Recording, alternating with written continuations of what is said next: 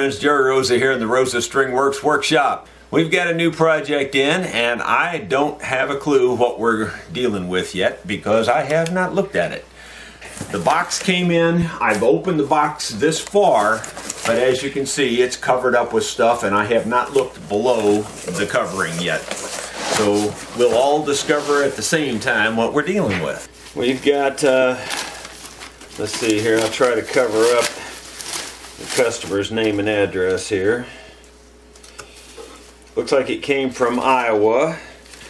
And I think he's got the label inside here. Apparently it's a violin, I think. And uh, almost have to be in a box that small. And here's the label.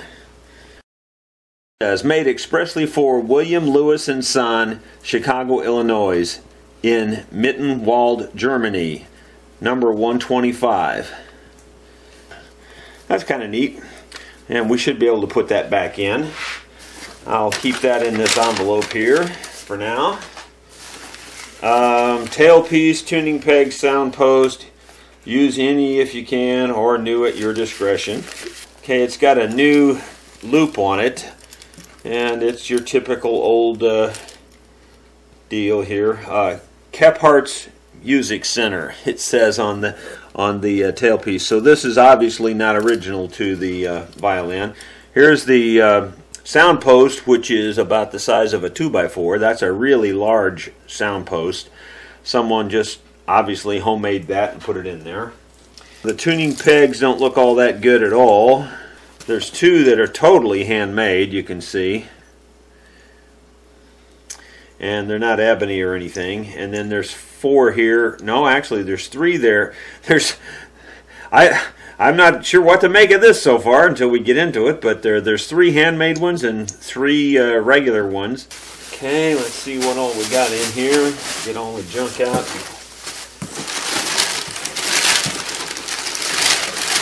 Uh oh, oh boy, I've seen this before.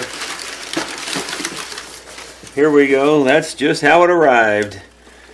Look at that, complete with the mouse hole and everything. I have seen the mouse hole before, believe it or not. I repaired a really, really nice old violin in my early, early days that had a big mouse hole chewed through it. And when I got done, you couldn't tell there had ever been a mouse hole in there. Now, the back is completely loose, and worse than that, it's out of alignment. It's uh, well, I mean, it looks like it can be aligned, but uh, it's it's under it's under pressure. And this is, of course, broke all the way through here, broke here, broke here.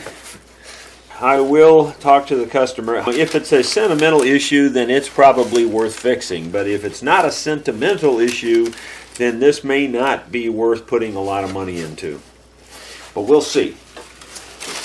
Okay, do we have a neck? Yes, we do have a neck, and, and that's the last thing in here. Mm, yeah, the neck's a little, ooh boy, nasty. Moldy, it's real moldy up in here, and there's all kinds of nasty dirt down in there.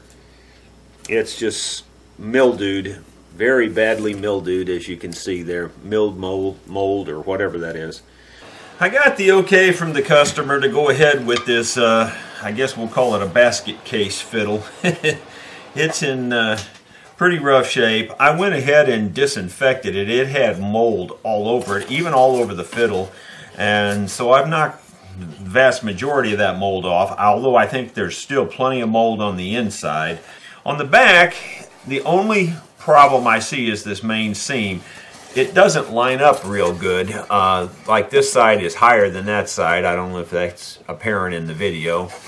But I think I might be able to glue that in place without taking it apart. The other option would be to go ahead and take this top off because this top's in bad shape. I mean, it's broke through here, uh, through here. I don't know if it's broken this side. I don't see a break, but then it's got the mouse holes. So I don't really know which way I want to tackle it. The sad part of it is, is that this, the top and the back both appear to be glued very well to the sides. I don't see any loose spots at all, which is so ironic considering how busted up this thing is. What I say has happened here is this thing was kept in a very damp basement or even a wet basement, got flooded or something, and this wood has uh, expanded and busted. It's busted to the point where this crack here, it's misaligned. The purfling there you can see is out of alignment even. Um, it's, it's quite a mess. And just, you know, there's a million different ways to skin every cat. I'm just trying to find the easiest, quickest way and and I'm not sure what that is. I'm halfway tempted to just go ahead and glue this seam in place like it is and get that solid to the sides, then take the top off. Because I'm afraid if I take it all apart, then everything may come apart, you know. Then you got a lot more work. I think I can get this back to line up pretty darn good. I'm going to kick it around a little bit here and make my decision. I think I've decided to fix this one from the outside. You can see this little clamp that I've made here. It's, uh, you know, right now I just barely have any pressure on it, just tightening it up, and it tightened the seam up really good. And I just, I've never owned any of these clamps, and I've always, I've seen them, and I thought, you know, those would be handy under certain circumstances. Well, this is the certain circumstance, so I've decided to make myself some clamps. I've just got some of these little metal rods. They got hooks on the ends. I'm cutting the hooks off, putting threads on them, and putting these little uh, pieces of plastic on there that uh, I think it's Delrin plastic that I uh, machined out to make them uh, work out real good. So here's the process for making these clamps. I have my little 832 die on here, threaded on, and I just spin it around, put a little oil on there by the way, and uh, then I just cut the threads on there. I just kind of using this as my gauge. About halfway down that block is what I'm going. That's about halfway. Really doesn't make that much difference. And then I cut it off to length and I put new threads on it again. So don't know if you're familiar with what, you know, that's what a die looks like there to cut the threads.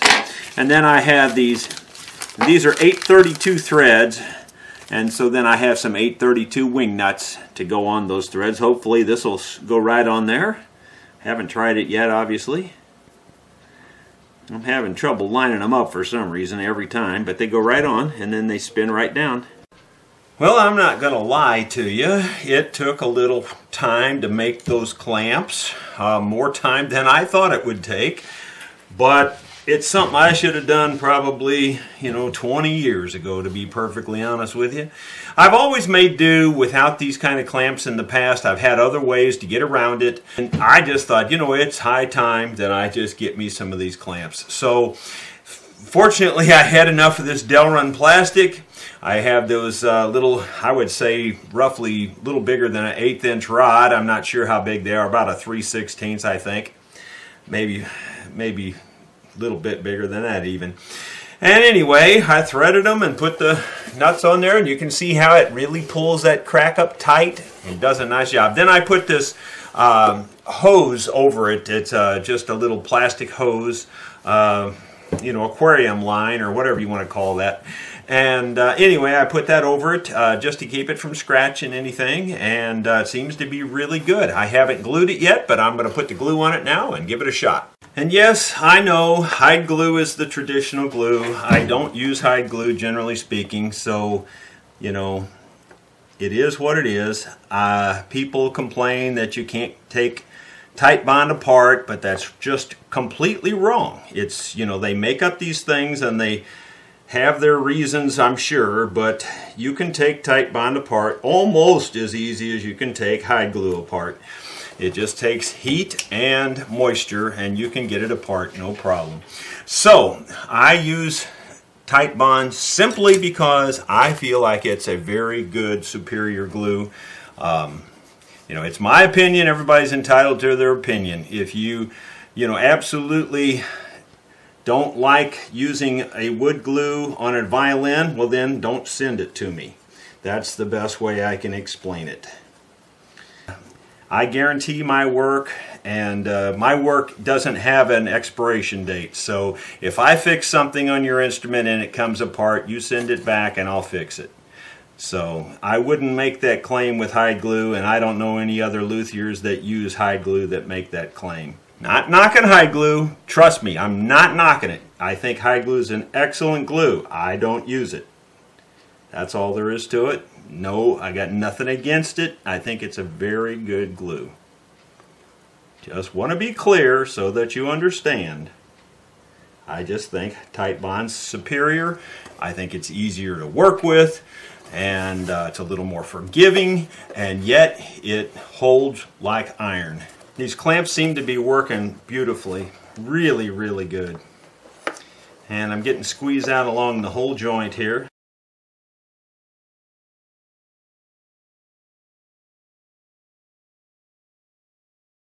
I am going to take the whole top off this, and so you might be saying, well, why did you glue it back together now? Well, I just felt like this was going to help stabilize it and stabilize the sides. And then I'm going, to, the top is a separate issue. It's broke so many places and it needs this wood replaced and all kinds of issues on the top. The back only had this one issue, and that's why I figured it was easy to fix it right now and then move on. Well, I'm waiting for that back to dry. I'm looking at this uh, fingerboard and it's exceptionally thick. When you see it on here, you can tell it was added on and it's pretty thick. It's big and clunky and heavy. You know, everything on a violin ought to be dainty and, and lightweight. So anyway, we're going to uh, knock that down some. It's also not been cut back up in here. I like to see that cut back in there too to lighten it up. You know, I'm going to probably bring this back around like so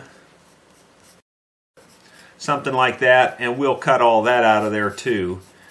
And that'll lighten it up some more. So we can do that with my finger planes. Got my finger plane here and uh,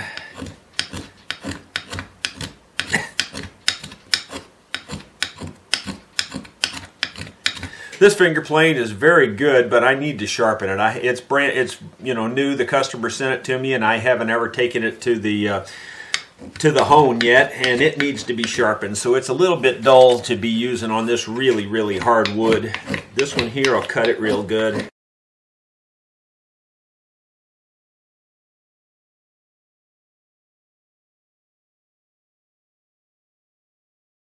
Almost, almost a smooth transition now. Uh, I feel like the blade's gone back up in there a little bit. It's not cutting again. There's no transition line there that you can feel now. I'm going to take it to my sander and I'm just going to lay it on here and try to cut one continuous cut back to here, but it'd be more at this end. I took about 30 thousandths off the thickness of this, which uh, 40 thousandths would be about a millimeter, so it's about three-fourths of a millimeter, I guess you'd say, that I took off of this. That feels better. It looks better on the edge to me. Maybe uh, even a hair on the big side still, but not bad. Not bad now. It was clunky before, but now it's it's not too bad. So, you know, it's kind of a, a by eye type of thing, and uh, that's looking pretty good to me. I may take more off of it once I get it mounted back up and all that, but for now, that's good enough. Well, it's the next day, and I took the clamps off, and they work great, but I got to be perfectly honest, they did create a little problem. Even though I had the vinyl tubing over these, they did leave marks, and I'm surprised at that, really.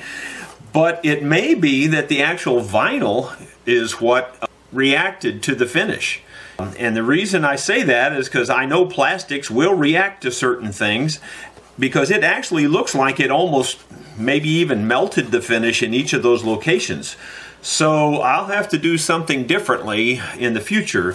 This was the perfect instrument to try it on because the finish is just garbage on this thing anyway. But uh, Anyway, it is what it is. It did create a little problem, and I can fix that, though. I don't think that'll even show up when I'm done. It's been a few days, and it's time to try to take this top off.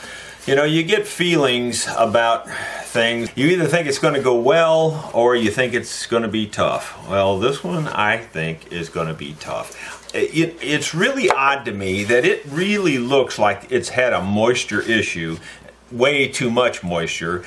Yet it there's not a single crack in this anywhere. So wow, I just I don't know. It's going to be hard to get apart. If that if all that water didn't get something loose, then how much uh, trouble is it going to be to do that?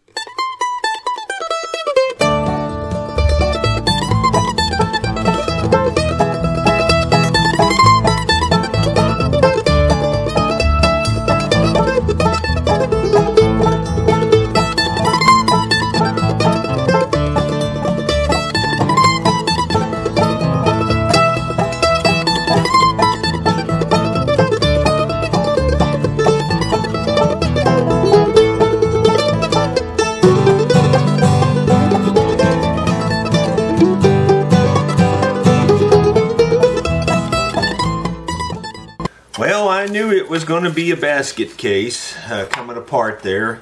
Came apart fairly good. There was a couple of tear outs. It, it is what it is. It was in bad, bad shape. But when we're done here, none of that's going to matter. It's going to be really nice. One of the problems with trying to glue this up, it's very hard to clamp, very hard to align and you know it's just difficult because everything's on a curve you know it's not flat. The only thing that's flat is this outside edge. Well then I tried to sit it down on a flat surface and it wouldn't sit down because of this tall brace. So it does it rocks you know. So what I did was I channeled out this area here on this board and now I can set this down in here flat in that channel and the, the edges are on the flat surface now and that really makes it a lot better for lining this up. And then when I clamp it, I think that'll help me too on my clamping because it's on a flat surface here. And, and, I may have to do an unconventional type of clamping. I may have to drive some nails down in this uh, plywood, push this over tight, and then push you know, force this over tight and maybe put some more pins in it here. Squeezing it causes it to torque in weird ways and it doesn't stay flat. What I did was I traced the outline of the violin on here. I don't know if you can see that in the camera very well. I'm going to now just drive a, a series of nails in those in that pencil line. As a matter of fact, I'm going to try to be very precise and drive them just where the pencil line is just inside the nail.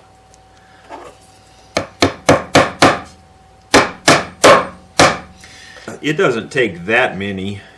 Just a few strategically placed nails should work.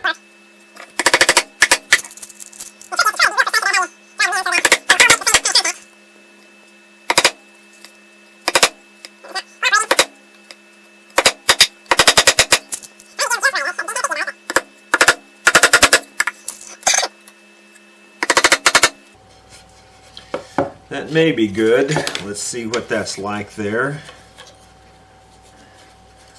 Pretty good. That's pretty darn nice. It, it feels like it's making contact with most of them. Maybe not every one. Like this one here doesn't look like it's making any kind of contact. That's okay. It's it's only just got to be there to have something to push against and that feels pretty solid. Now if we put this back in here then I can push over against that and it looks like it's lining up pretty well and then if, if it's dipping down I can put a little wedge under here to lift it up or you know, I, you just have to get creative with ideas on how to make it work. I could glue a couple of blocks in here and actually leave them a little ways away from touching and then put a wedge in here to force it over and just use some and just glue these down with super glue. Okay, what I did was draw a straight line across here where the edge of this would be and I'm going to come back off of that line, oh, not quite a quarter, you know, a little over an eighth of an inch, I guess. And I'm going to glue some blocks in here.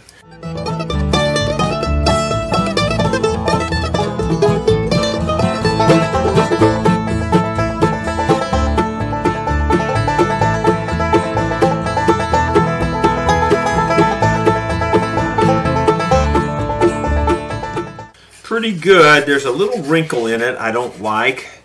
Kind of like an under dip there a little bit. I'm not sure if we can get that out of there with some other kind of a deal.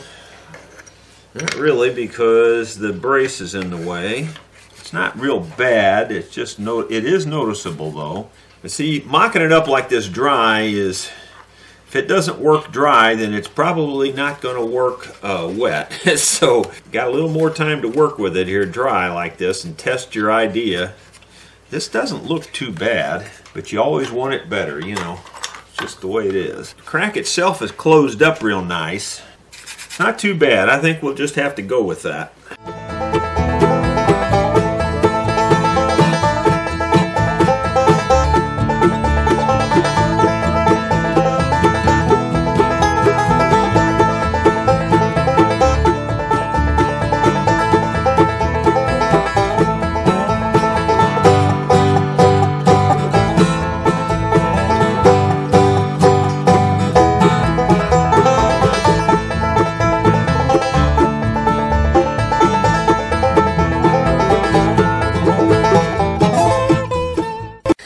I added a clamp on both ends to keep it flat because it was it was wanting to buckle up in the right where the crack was, and that seemed to really make a difference. It even caused more glue squeeze out. I think it's about as good as you could possibly do. It's just another lesson in creative clamping. All right, I went to lunch. This has been sitting for a couple hours now, a little over two hours, maybe two and a half. I'm going to go ahead and take it apart and uh, see what we ended up with. Looks like it uh, glue might have squeezed out right under this edge here and caused it to glue down. Probably here too. Uh, fortunately, not too big a deal. And yeah, we got a good glue squeeze out across there, so we can clean that up, no problem. I don't think that's going to be a problem now. I think that's good and solid. I've made up a similar, I've taken, well, I just took the same board basically and made, knocked the blocks off of there and now I'm trying to get it to line up. I've got this side, you know, with the nails there where I can push it into those nails and it, it fits real good and snug, doesn't move. And when I push this side into it, it, it actually lines up pretty good, but not perfect. It's touching down here. There's a gap right here it appears to be touching the rest of the way up through here. Uh, but there is a pretty good gap here, so something's not perfectly straight or something. It's warped or something. So what I'm going to try to do is take a piece of sandpaper like this. This is 220. I'm going to lay it on this flat surface right here, and I'm going to try to hold this square to the top and just rub it across here nice and slow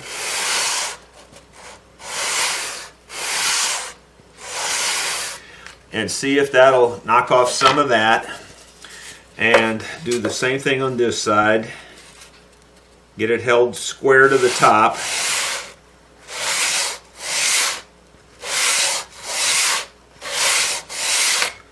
And see if that does it. You know what? It, it wasn't a very big gap so I don't want to take off a ton of material. And I just want to see how that looks and see if that looks better Matter of fact, that might be good enough. It seems like it's still just a little touchy down here at this end. Just take a nice light pass like that. Get it flat. Nice little pass like that. It's really close to fitting up and a little bit will go a long way at this point. And that looks like that's just about as perfect as you're going to get it kind of got the same predicament. How am I going to tighten this up? And I could do pretty much the same kind of thing. I could put some blocks there and uh, wedge it together. But because this surface is so curved, I don't know if I want to use blocks. I may just use some of the nails and put a wedge in between the nail. And uh, I think that may be sufficient on this.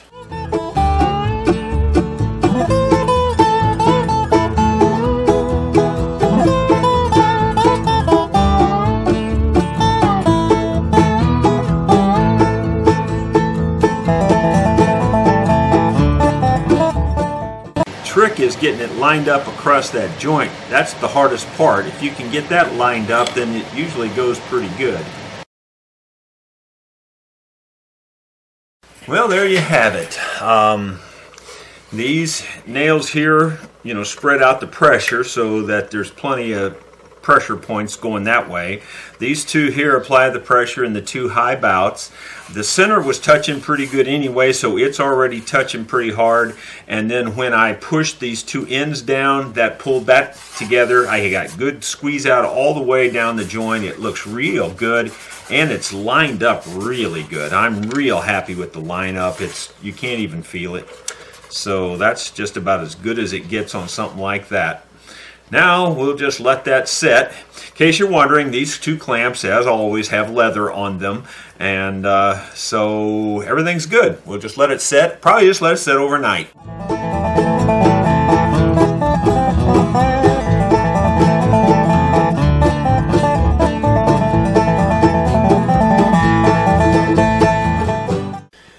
The customer asked me to put the original label back in this, and here's a good look at it. It um, looks to me like the label actually went right here because of the staining and the, the discoloration of the top that I can see. It looks like it laid exactly like that. Now that covers up the other little made in Germany label that's there. But maybe that was on purpose, you know, this little made in Germany label and then this laid over the top of that because this is a, you know, it says made expressly for this company, and maybe they put their own label over the top of the one that just says made in Germany. I don't know. But I'm looking everywhere else, and that's the only place this label looks like it goes uh, as far as staining and everything, and even the back staining matches this staining. Because of that, and because it's all the evidence that points that way, that's where I'm going to put it. I've got some liquid hide glue that I'm going to use for the label and uh, it seems to work really good for that purpose. I've checked and it lines up in the hole with uh, with the top with the F hole so if you're concerned about that that's already been looked at.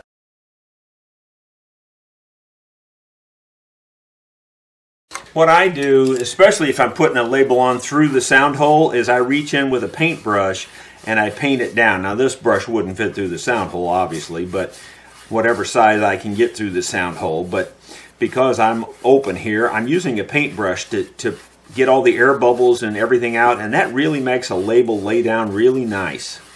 You'll be surprised how nice that works on a label. Permanently affixed, I don't think it'll ever come loose again. And the fact that we covered up the little made in Germany sign is not a big deal because this one also says, you know, in Mitten, uh, Wald, Germany. So it is what it is. And I'm pretty positive that's where that label went originally. I made this sanding board years ago. It's a good flat piece of wood and it's got good sandpaper on it.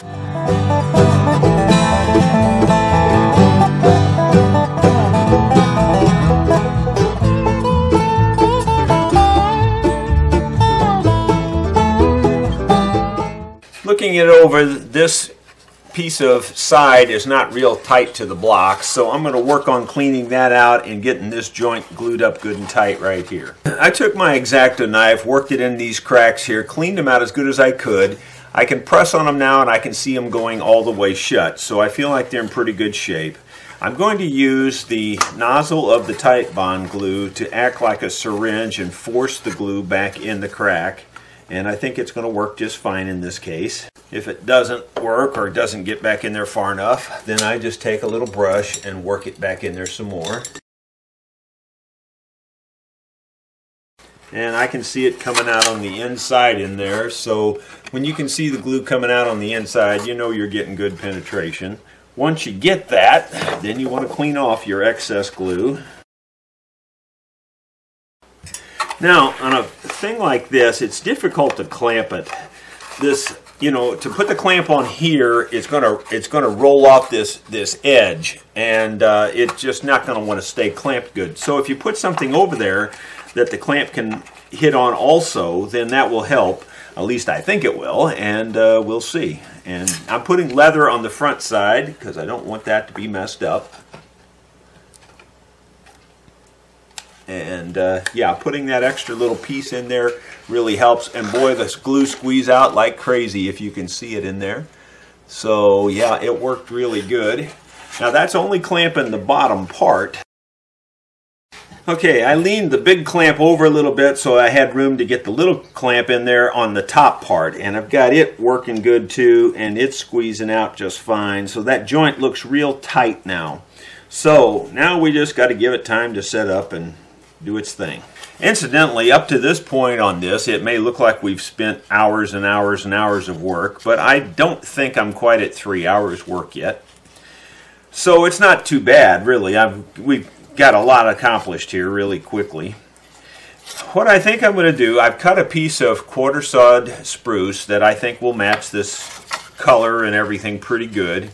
So, you know, it's always going to be a little lighter when you get a new piece of wood compared to an old piece of wood fixing this mouse hole is one of the things that I think is the most fun to do on an instrument is uh, to try to patch in something that's just not there and do it as well as you can. Of course, you want your grain lines going the same way, of course. What I think I'm going to do first is square these lines up and make it kind of like a diamond shape. Put this in here, draw the shape on here, cut it out, put it in there, and then go to town carving it like it's supposed to be. We'll see how it works. It's just a guess at this point if it's going to work at all.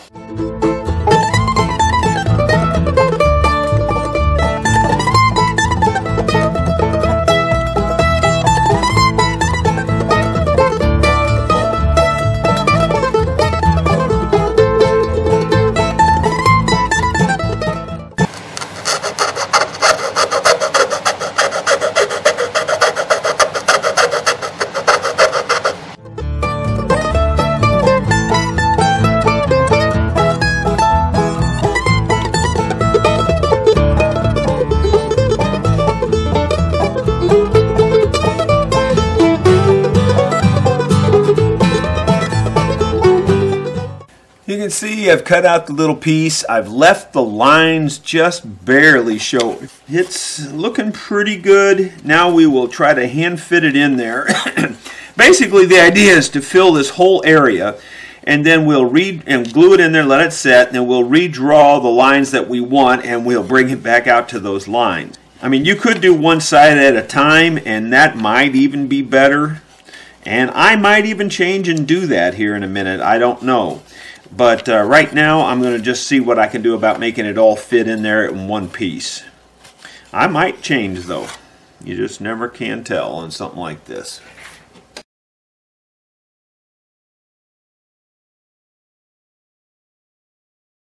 I might go ahead and cut it in half. I don't know. I, I can see benefits both ways, but I think I'm going to go ahead and cut it in, in half so that I can really concentrate on this fit and then I'll really concentrate on that fit and I think that'll be better. So where I want to cut it in half is I want a straight line between that point and this point. I mean if this doesn't work I can always do it again, you know.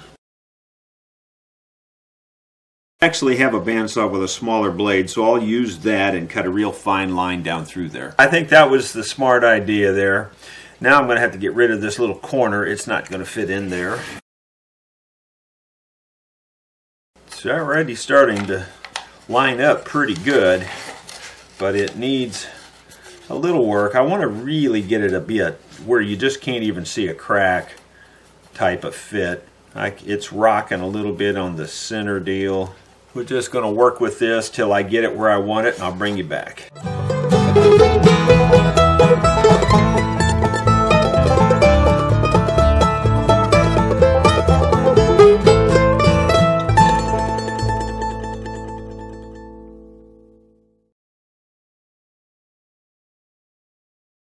Well, there you go. We'll just let that sit and dry for a while, and uh, then we'll try to do the other side.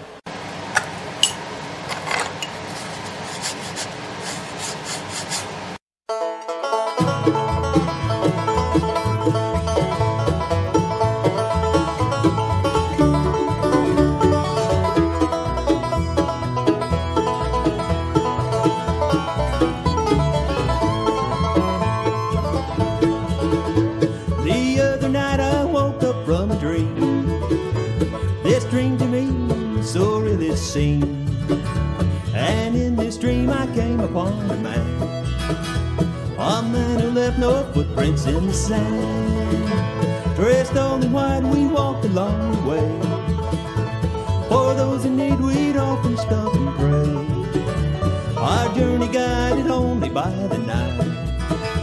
And yet we walked as if there was a line. Then he said, walk the straight and narrow every day. Then he said, head straight toward the light and never stray. Then he said, lend a helping hand along your way. Then he said, find the love of God on Judgment Day.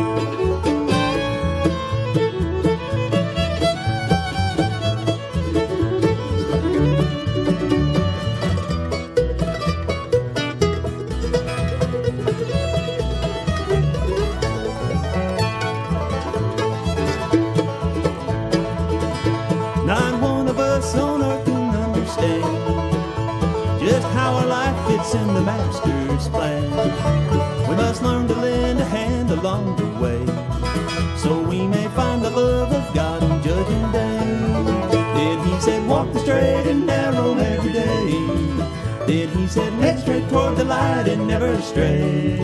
Then he said, Lend a helping hand along the way. Then he said, Find the love of God on Judgment Day.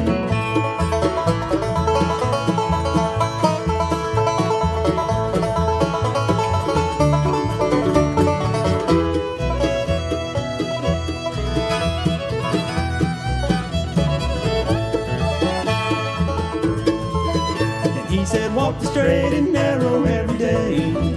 Then he said, head straight toward the light and never stray. Then he said, lend a helping hand along the way. Then he said, find the love of God on Judgment Day.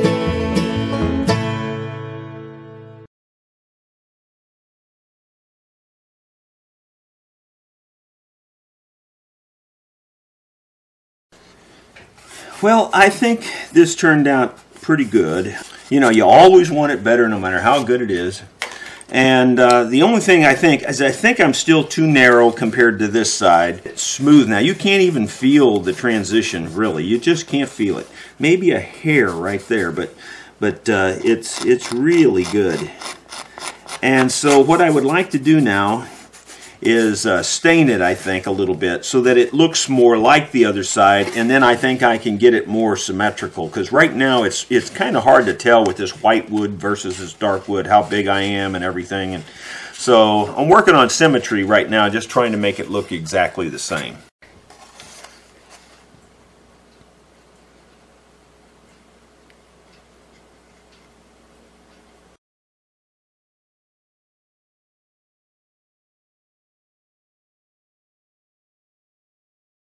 That just helps me dark, darken it up a little bit so I can see a little bit more where I need to. I can cut more out of this side here, I can see, and uh, just helps me see the symmetry a little bit better, even though that's not the final look, I don't think.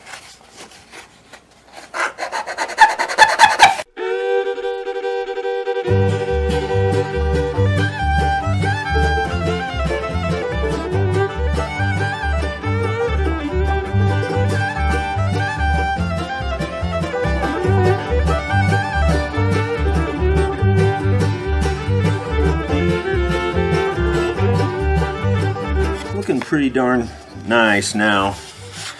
Compared to a mouse hole, almost anything looks better.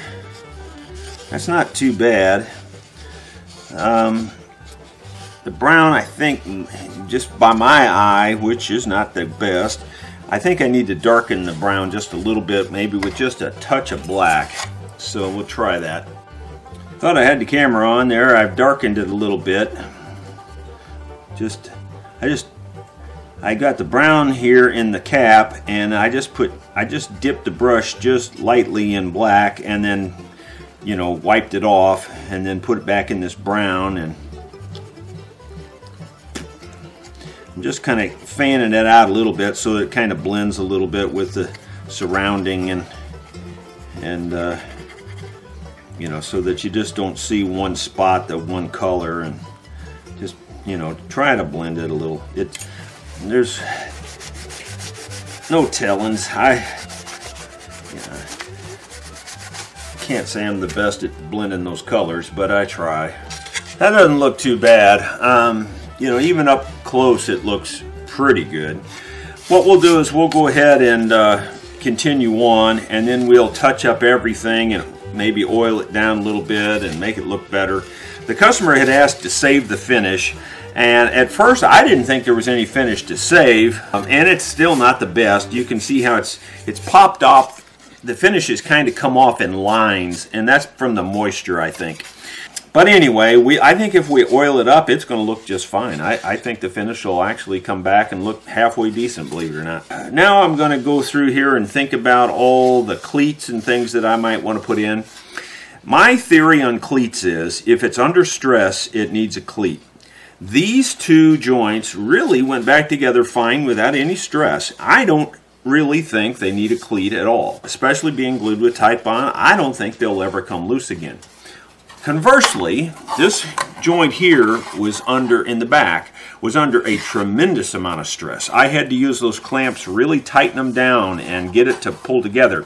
Now keep in mind, this is glued together with Titebond as well. My theory is if it's under stress, you ought to cleat it. So I think I'm going to put five cleats along here. I'm put one right dead center, one halfway, and then one towards the ends. You know, maybe an inch from the ends, from the end blocks. And they'll all be separated approximately an inch or so. And I think five cleats on there is just insurance, and I don't think that's enough that it's going to hurt the sound much. And uh, ordinarily, the main joint doesn't need a cleat, but in this case, because of the stress factor, because it was so pulled, I think I will. Friends, I just wanted to talk to you for a second. I want to thank you first of all for watching part one of this video. I really feel like this is going to be one of my best projects ever. I hope you enjoyed it up to this point. It does turn out really nice, I think. But I just wanted to tell you how things are going to go with the videos from now on. Uh, because YouTube has changed all the rules and they keep giving you hassles and etc. etc. It seems to be that the way to upload videos these days is to upload them unlisted so nobody knows they're out there, if you will. Wait for YouTube to do their review. Once it's uh, approved, then I'll open it up to the rest of the world. Now, during that short process where they're unlisted, they will be available on Patreon, just so you know. So the folks on Patreon will probably see them about one week before they go live everywhere else. So if you uh, really like what you're seeing and you would like to support the channel on Patreon, I would very much appreciate that. And uh, thanks to all the folks who have already signed up on Patreon. I really do appreciate it. You don't know how much that means to me. Thanks for watching, and part two will be out soon.